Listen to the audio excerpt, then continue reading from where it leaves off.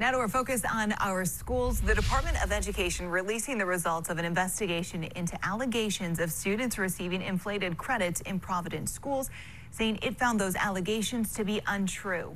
A school board member had alleged Mount Pleasant students short on credits were placed into lower grade classes.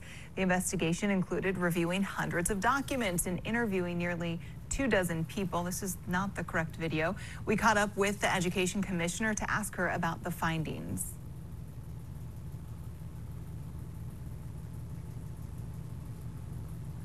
Moved on it very quickly because we value the work that everyone does in our district. And any allegations we take very seriously. He interviewed more than 21 people. He and he there was about 600 pieces of documents that he went through. So we feel very confident in Charlie Ruggerio's work. Some school board members have called for an independent investigation by the Department of Ed into, into credit cheating at Mount Pleasant High.